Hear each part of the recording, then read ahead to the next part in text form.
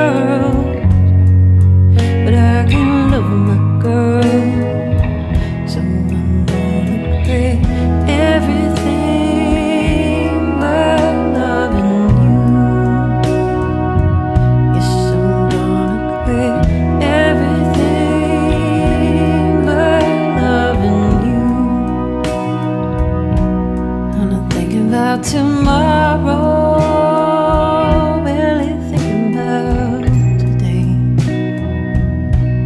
I just wanna keep the sorrow and the anger and worry at bay.